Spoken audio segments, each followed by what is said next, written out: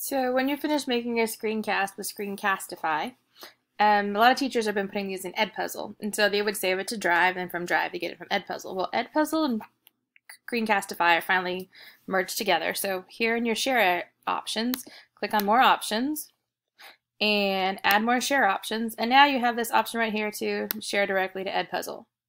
The integration will show up now in Edpuzzle. So let's see how to do this again. So I'm going to go back to my video, upload to Edpuzzle. So now I just have one less button to have to push. Hopefully that helps you. Sorry, I guess should have hit the button to make sure it works.